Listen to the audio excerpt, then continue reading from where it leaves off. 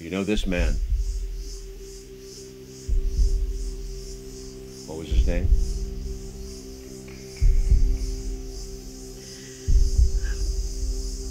That's uh, it's Lado. Ophelia, what did this man do to you?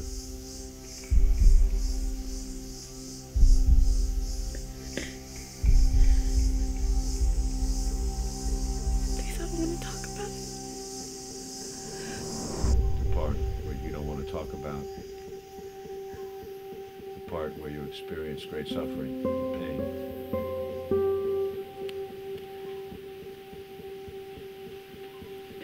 Yeah. Did your two men help you then? They don't know about it.